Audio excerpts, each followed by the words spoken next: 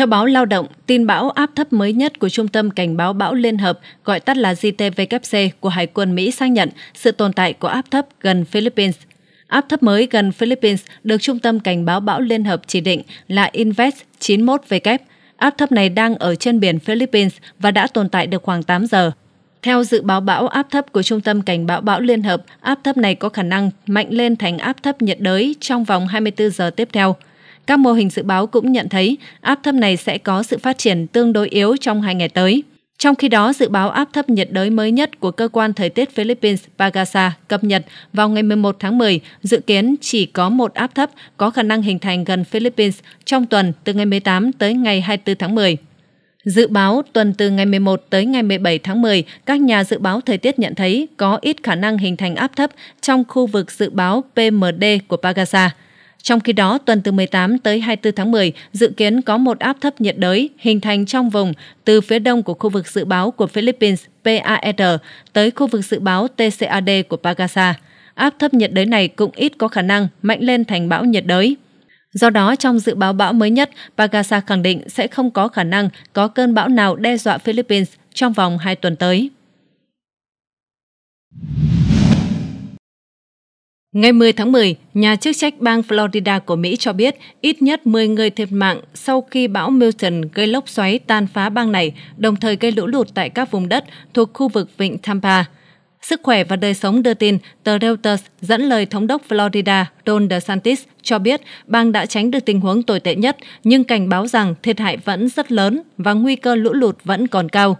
Tại quận Saint Lucie, bờ biển phía đông của Florida, các trận lốc xoáy đã khiến 5 người tử vong, trong đó có hai người ở khu dân cư người cao tuổi. Nhiều khu vực như Tampa và Saint Petersburg cũng hứng chịu thiệt hại nặng nề từ gió mạnh và lốc xoáy. Hơn 3,2 triệu ngôi nhà và doanh nghiệp ở Florida đã bị mất điện vào chiều ngày 10 tháng 10 theo giờ địa phương. Một số khu vực có thể sẽ mất nhiều ngày mới khôi phục được điện, đặc biệt là những nơi vừa bị tàn phá bởi cơn bão Helen cách đây 2 tuần. Bên cạnh đó, cơn bão cũng đã làm hư hại sân vận động Tropicana Field ở Saint Petersburg, nhưng may mắn là không có thương vong.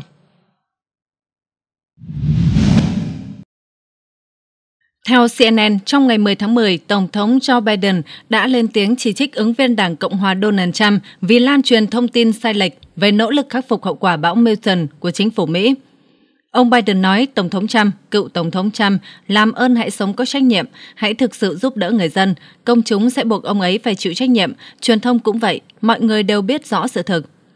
Tổng thống Biden khẳng định các biện pháp cảnh báo sớm và sơ tán đã giúp làm giảm thiệt hại về người của bão Milton. Ông chủ Nhà Trắng và Phó Tổng thống Kamala Harris vẫn đang liên lạc chặt chẽ với các quan chức địa phương để cung cấp sự trợ giúp cần thiết cho người dân. Khi được hỏi liệu đã gọi điện để yêu cầu ông Trump ngừng lan truyền thông tin sai lệch hay không, Tổng thống Biden đáp, mọi người đang đùa, tôi không có ý định nói chuyện trực tiếp với ông Trump. Trước đó, cựu Tổng thống Trump đã chỉ trích chính quyền đương nhiệm vì những động thái chậm trễ trong việc khắc phục hậu quả của bão Helen, cáo buộc Nhà Trắng không liên lạc với thống đốc các bang để đối phó với bão Milton. Ông Trump nói trong đoạn video gửi tới người dân Florida, tôi hy vọng các bạn sẽ có một tổng thống thực sự giúp đỡ mọi người vào ngày 20 tháng 1.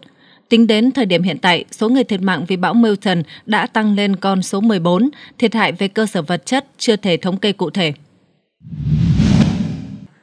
Theo báo Việt Nam Plus đưa tin, bão Milton can quét bang Florida của Mỹ hồi giữa tuần đã tàn phá trên diện rộng, thổi bay mái vòm của sân vận động Tropicana ở Saint Petersburg với sức gió lên tới hơn 190 km/h và khiến 3,4 triệu người rơi vào cảnh mất điện. Cơn bão cấp 3 đã xé toạc hầu như toàn bộ phần mái của sân Tropicana, là sân nhà của đội Tampa Bay Rays thuộc giải bóng chày Major League, gọi tắt là MLB. Theo truyền thông địa phương, vải mái che sân vận động này được làm bằng sợi thủy tinh phủ Teflon và được thiết kế để chống chịu sức gió lên tới 185 km h Những hình ảnh và video trên mạng xã hội cho thấy những mảnh vải bay phần phật trong gió và cảnh mái vòm tơi tả khi cơn bão đi qua. Khung của sân vận động có sức chứa là 42.000 người này có vẻ còn nguyên vẹn, nhưng mức độ thiệt hại vẫn chưa rõ. Theo trang mlb.com, sân Tropicana được xây dựng vào năm 1990 với chi phí là 138 triệu đô la Mỹ, không có hệ thống thoát nước cho sân. Sân Tropicana dự kiến sẽ được phá bỏ và thay thế bằng một sân vận động mới trị giá 1,3 tỷ đô la Mỹ trong khu Gasplant thuộc khu phức hợp có trung tâm là sân bóng chày hiện đại. Đây là quãng thời gian khó khăn đối với Florida, địa phương còn đang phục hồi sau một cơn bão lớn khác là bão Helen xảy ra chỉ vài tuần trước.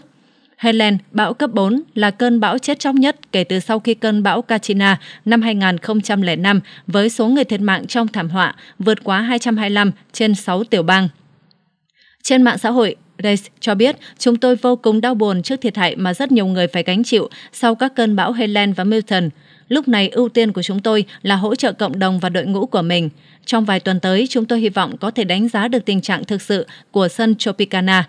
Hiện chúng tôi đang làm việc với cơ quan thực thi pháp luật để bảo vệ tòa nhà. Bão Milton gây lốc xoáy càn quét bang Florida, Mỹ, làm ít nhất 10 người thiệt mạng và hàng triệu người bị cắt điện. Công tác khắc phục hậu quả của siêu bão đang được các lực lượng chức năng của Mỹ khẩn trương thực hiện. Bão Minton được dự đoán là cơn bão tồi tệ nhất trong hơn một thế kỷ, khiến giới chức địa phương phải đưa ra cảnh báo về lũ quét do bão gây mưa lớn.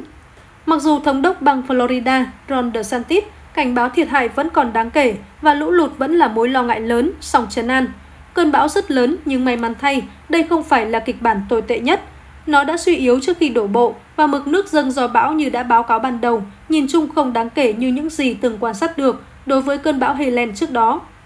Ông Ron DeSantis thông báo, bão đã tạo ra hàng chục cơn lốc xoáy, gây thiệt hại ở nhiều hạt, phá hủy khoảng 125 ngôi nhà, xé toạc toàn bộ mái sân vận động Tropicana Field. Khoảng 9.000 lính vệ binh quốc gia đã được triển khai ở Florida, sẵn sàng hỗ trợ các nỗ lực phục hồi. Ngoài ra còn có 50.000 công nhân lưới điện được điều động để xử lý tình trạng mất điện trên diện rộng. Các đội tìm kiếm cứu hộ cũng được huy động, sẵn sàng ứng trực ngay khi cơn bão đi qua, làm việc suốt đêm nếu cần thiết. Chuyên trang theo dõi mạng lưới điện của Mỹ PowerRouted.us ước tính, tính tới chiều qua ngày 10 tháng 10, hơn 3,2 triệu ngôi nhà và doanh nghiệp ở Florida trong cảnh mất điện, trong đó những nơi chịu ảnh hưởng nặng nề nhất là các hạt Hadi, Sarasota, Hillsborough và Manatee. Hiện bang Florida vẫn đang trong tình trạng nguy hiểm do lũ lụt trên sông sau khi lượng mưa lên tới 457 mm. Nhiều người dân sống ở các khu vực bị ảnh hưởng của bão lo ngại Tôi chưa bao giờ trải qua điều gì tồi tệ như thế này trong đời. Cảm giác như chỉ có trong phim vậy. Tôi cảm thấy rất đau khổ khi chứng kiến nơi ở hiện tại của mình như thế này. Lốc xoáy, ngập lụt, mọi thứ đều bị tàn phá. Tôi đã cố gắng chuẩn bị trước khi bão đổ bộ, nhưng lốc xoáy ập đến bất ngờ. Đây là một thảm họa kép. May mắn thanh gia đình tôi đã thoát nạn. Theo Bộ trưởng An ninh Nội địa Alejandro Mayorkas, lốc xoáy dường như là nguyên nhân chính gây thiệt hại về người. Cơ quan Thời tiết Quốc gia Mỹ hôm qua ban hành 126 cảnh báo lốc xoáy trên toàn bang. Đây là số lượng cảnh báo lốc xoáy lớn nhất từng được ban hành trong một ngày của bang trong các hồ sơ có từ năm 1986. Tính đến tối ngày 10 tháng 10, các hoạt động cứu hộ vẫn tiếp tục khi lực lượng chức năng sơ tán cư dân bị lũ lụt ở thành phố Clearwater gần Tampa.